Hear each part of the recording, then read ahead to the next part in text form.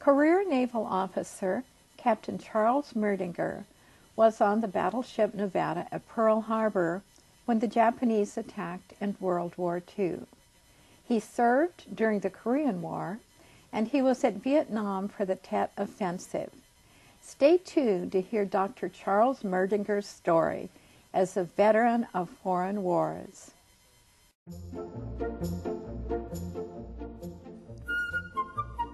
Welcome to The Better Part, a program that encompasses a diverse spectrum of topics important to our community, which we hope will both inform and entertain you. We invite you to sit back and enjoy the program.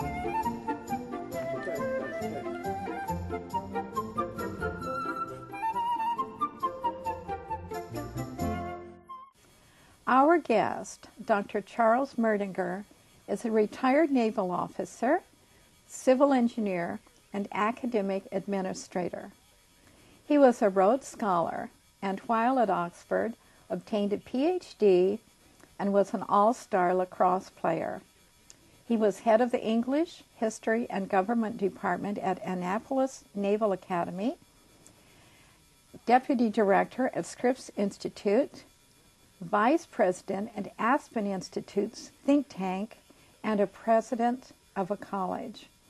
These are just a few of the interesting things he has done in his 93 years, including playing against the Harlem Globetrotters and kissing the Blarney Stone. Welcome, Dr. Merdinger. Thanks for coming today. Thank you. Now, there's a lot to talk about in your life and career, careers, plural, but we're here to talk about your foreign wars, your your military career.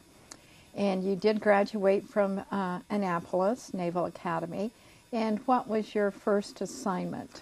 My first assignment was uh, USS Nevada. Uh, and uh, I was on that, uh, well, from the time I graduated. We were an early graduating class. We graduated in February. So it was 10 months to the day after graduating that uh, we had Pearl Harbor, the attack on Pearl Harbor. You were in Pearl Harbor at the time. Yes, I was aboard ship. As a matter of fact, I was on, I was in my bunk when the uh, war started, about five to eight in the morning, and uh, first thing I heard was the alarm, and I thought it was another drill, and uh, I was putting on my uh, socks, and the fellow ran by my room, and he said, "It's the real thing. It's the Japs." And then I heard horrendous uh, boom, uh, rattle of the machine guns, and then uh, over the uh, over the airwaves, the bosun was sounding general quarters, general quarters, all hands man your battle stations. This is no drill. And uh, when I heard all this commotion out there, I knew I knew that we were being attacked by the Japanese. So I hastily put on my hat, my dungarees, and my slippers. I didn't even have time to put on my shoes. Left my room, went to my battle station, which was called the main battery plotting room, and it was several decks below the main deck. And uh, I never saw my room again uh, because uh, very, uh, very early on uh, we were hit by a torpedo and uh, that slowed us up. But we were the only battleship to get underway, and we that was it started as I mentioned about eight o'clock, and uh, we got underway at about eight twenty-five, and then the Japanese really jumped us when they saw us leaving the harbor. We were the only battleship, as I say, that uh, actually got underway that morning. Where now you actually didn't you have to run all this because you're the main officer of the ship was ashore at the time? Well, put it this way: they all, all practically all the senior officers were ashore. Uh, so you only had the junior officers like myself, and uh, of course the most of the senior petty officers and that sort of thing uh, were still there. but basically, the we kind of fought the ship with a lot of junior officers uh, in charge of things.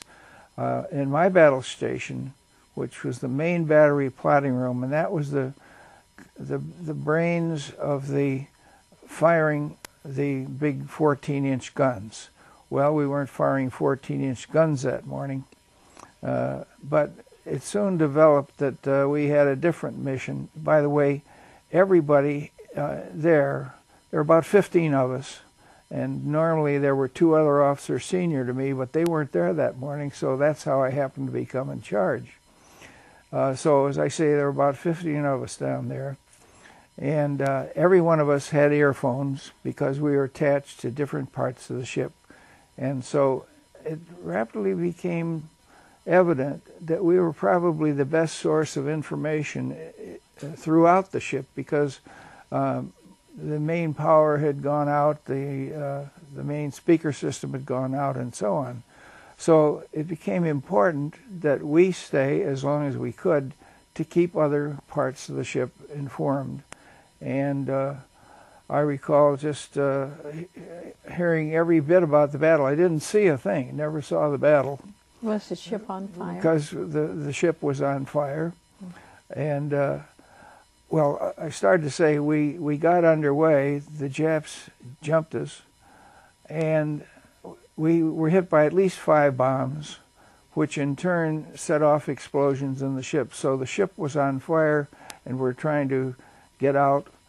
And uh, we were directed to beach the ship because it was, it was very evident that we might sink right in the middle of the channel and block the whole harbor. So we uh, pulled over to the side. Then later on, we were pulled over to the other side, and we settled in a cane field. And uh, the ship just slowly sank into the mud, and the water then started coming up. And uh, our uh, the first uh, real decision I had to make came about 25 minutes after it started, and I was told to send half my men topside to man the five-inch guns because so many people have been killed up there, and uh, I picked them on the basis of how important I thought the phones were. And so I just said Smith, Jones. So, and uh, they said, aye, sir, and they left. There's no discussion, uh, no nothing, just you fellows go and the others stay. Well, I think the ones that uh, went thought that uh, they might get shot uh, blasted or something up there, but on the other hand, the ones staying might drown. So it was a kind of a Hobson's choice I think if I'd had my own way, I'd have got the heck out of there at that time. But at any rate, uh, we ended up down in what ultimately became an air bubble. In other words, the water is rising throughout the ship. And uh, oh, uh, as I mentioned, we started this thing at 8 o'clock. We didn't have any fresh air down there, and we didn't get out till about 3 in the afternoon. And that was uh, uh well, that was uh, something that uh, we hadn't planned on. I mean, we never, we always had come and gone through this one particular door in the room. And uh, first of all, the water started dripping from overhead. We realized then that we were in an air bubble and we were going to have to get out of there sometime. And then the door by which we'd entered started to give way. The gaskets were going, and the water then was coming around our feet. And I called up to the executive officer and I said, Commander, I can hold five more minutes. Request permission to secure. I didn't know where I was going to secure to. I knew we couldn't go out the door we came in, but there's another door down at the other end. And none of us had ever been through it. Uh, we always went out this door. Well, obviously the water is coming in from that door, and hopefully the compartment next door is still uh, going. And uh, so we open the door, everybody goes through, and we get into the next. Oh, in in going, I said, "All right, all hands, we're leaving." Everybody took off his phones, wrapped them up on the bulkhead, just the way we'd always done after drill. Here's the water coming in on uh, everybody's feet, and it, was just magnificent the way everybody responded. Uh, nobody got excited. There was no yelling, no nothing. We just filed out. Now, now we're in another ruin, and uh, uh, it's going to go pretty soon. We know, but we were so we started to look for a, a way out of that room. Somebody discovered a hole in the in the ceiling there. Well, there was a tube, a communication tube that carried a lot of wires, uh, and there were rungs there for maintenance people to go up and down. So we send everybody up. Oh, by the way, I should add, maybe you've seen some of these submarine pictures where it's uh, it's green, green light, everybody's sweating and everything. That's a true picture. That that was what it looked like down there. Well, it's now three o'clock in the afternoon. As I say, this is about eight hours later, and I'm the last one up. And about two thirds of the way up, I smelled fresh air for the first time in several hours, and I thought, oh, it was the most beautiful, beautiful breath of air I've ever taken. So then when I got up and out, and everybody else had preceded me, uh, we were up uh, near the bridge. Well, I looked around, and people were fighting fires below, and everywhere you looked, it was uh, the world was on fire. All the buildings, the the water, you know, the oil on the water, the ships, and huge clouds of billowing smoke. Well, my first thought was, Lord, thanks that I got out this far. And the next was, boy, those, those uh, Japs really uh, did a professional job. I looked around and boy, they had really knocked us out. And uh, so the, the next question is, where do we go from here? Well, uh, I uh, I was soaking wet, so I took all my dungarees, I hung them up to dry, Somebody walked off with them. My slippers got rotted off me. But the Marines had a little small store. Interestingly enough, there were shambles all around, but this particular place was still intact, and they had uniforms. So I went in and got a new uniform, shoes and, and everything else. Uh, well, the captain decided I was the best dressed officer on the ship. And uh, the next morning, after things had uh, calmed down, I was sent ashore to tell the wives of those officers aboard. Basically, uh, the only people in those days who were married were the senior officers. Junior officers, uh, for the most part, were not married. Very few enlisted men, maybe a chief, petty officers. So, so I only had a few of the more senior officers' wives to contact, and fortunately, most of their husbands had been ashore. They were trying to get to the ship during the, the worst part of the uh, of the action. How and many um, how many people were killed? Uh, uh, well, you know, those figures are real dim in my mind now, but I, as I recall, we had over 50 who were killed on our ship. Of course, some of the other ships really suffered something mm-hmm. badly. Mm-hmm. But the uh, uh, I, I couldn't get to my room because it was underwater. But uh, several weeks later, when we dewatered the ship, and I went to look for my room. Was gone, been blown away. I found my sword that had been blown 35 feet from where the room had been. And uh, as you can see, it still looks pretty good as far as the sword is concerned. But the, the scabbard took a real beating. And this had uh, shark skin on it and a nice gold tassel and everything. Of course, they got all burned. Up.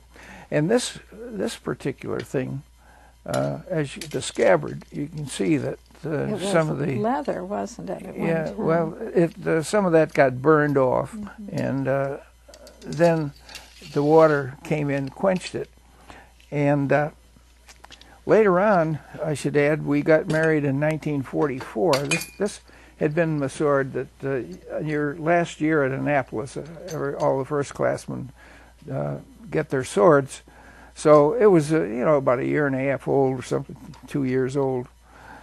And, uh, and in 1944, it was a kind of a beaten up looking thing, but we used it on our wedding cake.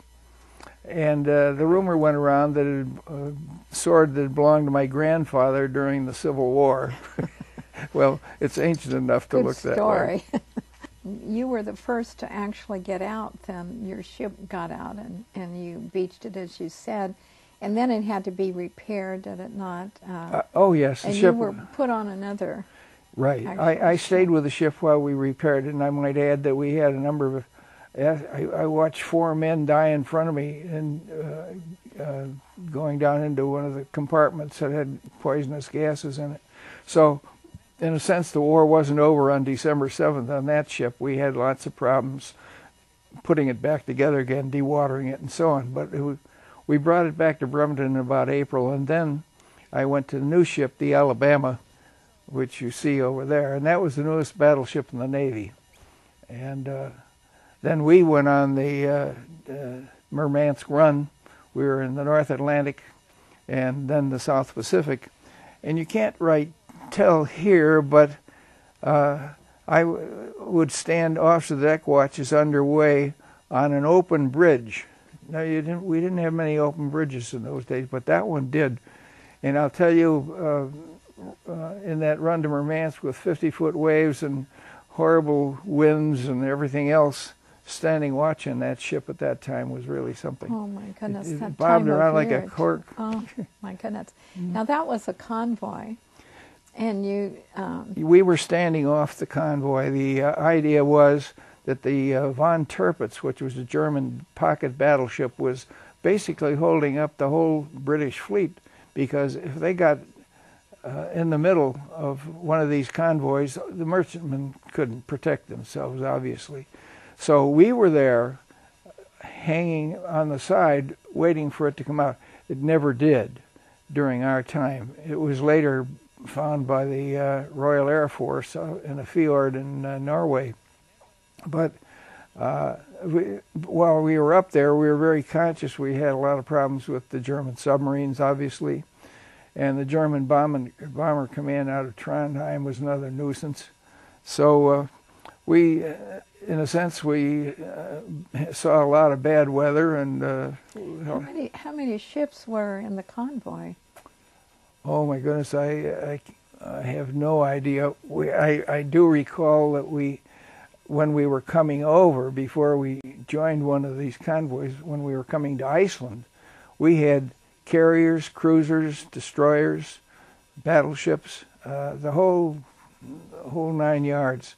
And uh, there's several ships, but as to numbers, I've kind of forgotten. Getting them all together meeting up, you know, the rendezvous or whatever, and and following out a long distance.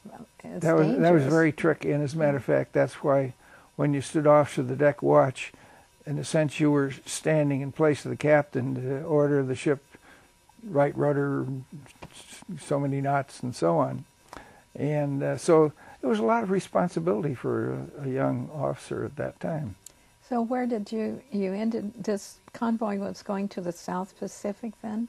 Yes, after to the in after the- our tour in the North Atlantic, we were down the South Pacific, and we were there uh, with the start of the of the return of the U.S. Navy to the to the South Pacific, and so we were in uh, combat down there uh, in the Gilbert Islands, for example, uh, Nauru, and uh, oh, so many islands I've kind of forgotten their names. Tarawa comes to mind, and so on. That we were there.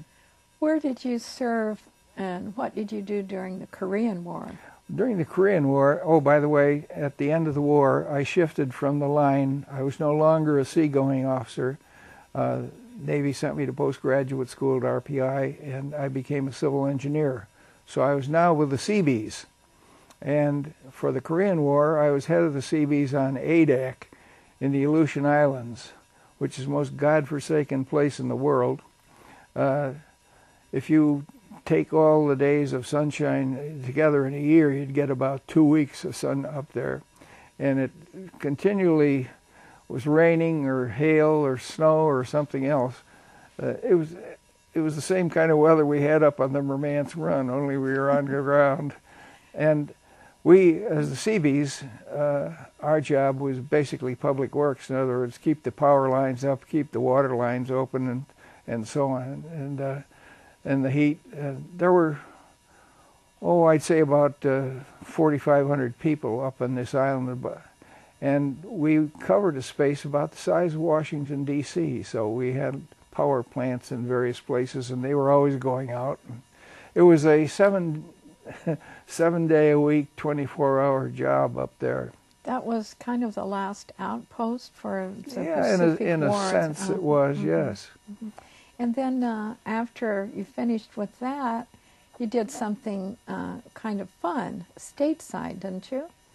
Well, I had I I got a call from the detailer in Washington uh, just before I was to uh, uh, be relieved up at Adak, and he said, "Where would you like to know next? We know it's been a tough tour. We'd like to uh, give you what you want." You know, normally nobody asks you where; they just send you.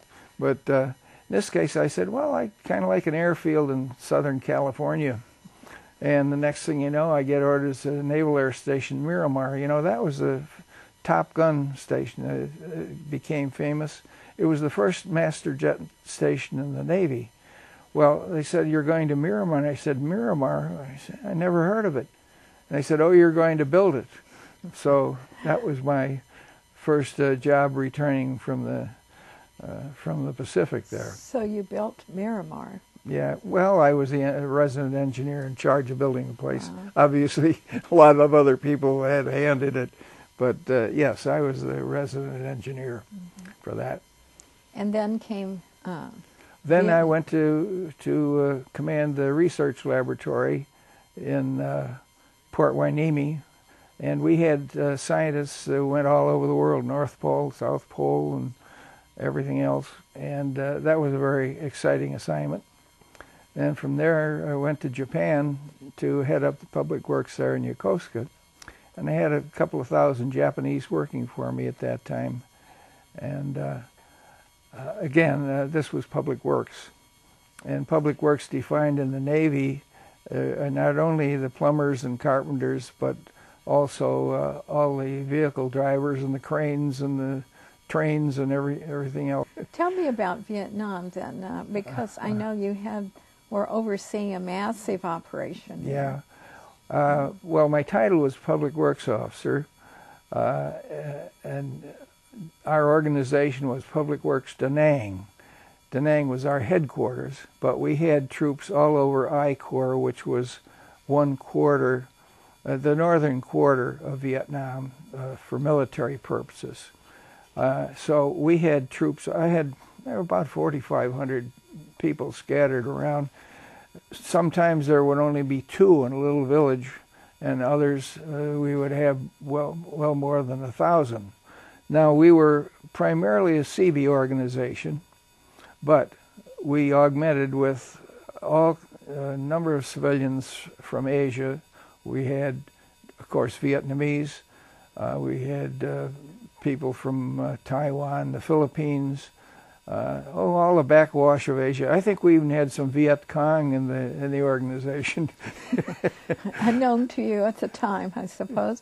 But it was, so it was plumbing and power and roads and, and Yeah. buildings. And, one uh, one and statistic for- that I, I, was looking at this up the other day. One statistic was that we uh, repaired hundred flat tires a day Oh my goodness! So in our in our transportation organization. uh, I I remember that uh, I heard somewhere that you were always um, helping, like the the airfields would be blown up, and you would be out there Well, I right spent, away. spent a lot of time. Uh, the, the, so they could the take Viet, off The again. Viet Cong normally during my time there uh, didn't uh, start anything till about one in the morning. Uh, I, I don't know how many sleepless nights I had running over to the airfo- airfield with, you know, the fires were going and things were blown up and so on, and we had to put it back together again. So I had, I would uh, go over and uh, kind of assess what it was that we had to do,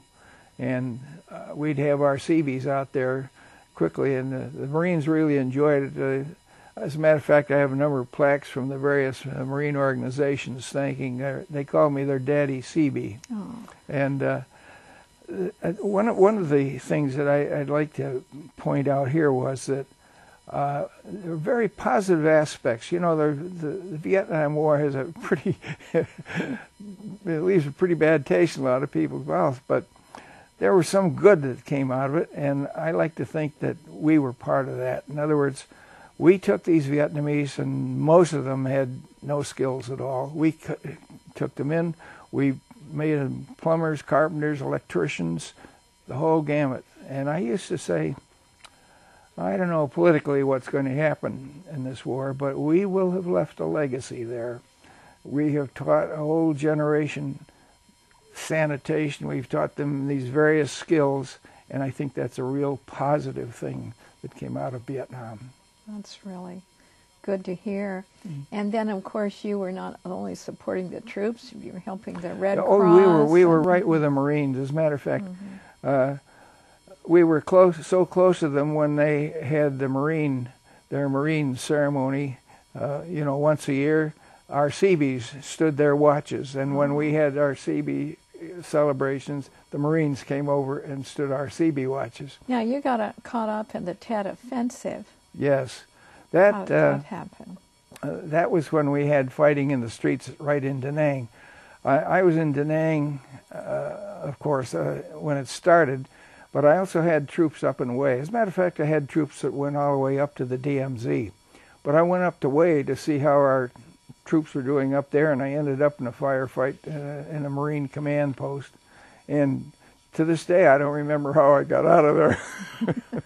you seem but, to be pretty good at escaping, don't you? Uh, well, I, I, it's true. I've, I've been very fortunate in that score. You know, I've had people get blown up just a few feet from me, and uh, nothing ever happened to me. I never even got a cold. Well, you wanted to be a uh, in the military from a little boy. You were in the Boy Scouts and the ROTC, and I think you had some military people in your uh, family. Right. And well, I, I we weren't. Well, your daughter. Of. Every everybody uh, everybody named Charles uh, went to war in the family. In other words, my uncle Charlie was in the Spanish-American War. My uncle Charles was a World War II, a World War One, and uh, I was took World War II and the Vietnam War and Korean War, and then my daughter uh, came along, Susan. Uh, she was a command. She retired as a commander in the Navy, but uh, she had volunteered during the time of some of the uh, nonsense going on in the Middle East. Uh, she she'd been trained in Arabic and so on, but at that time uh, they didn't want women in there, so she never went. She went went to Germany and uh, I get oh Okinawa. She was commander of the port there, but uh, she uh, she never did get a chance to use her Arabic. Arabic. well, maybe she was lucky. But thanks so much for coming and telling us all this interesting well, information. Really, real I pleasure. enjoyed it. Thanks very much. うん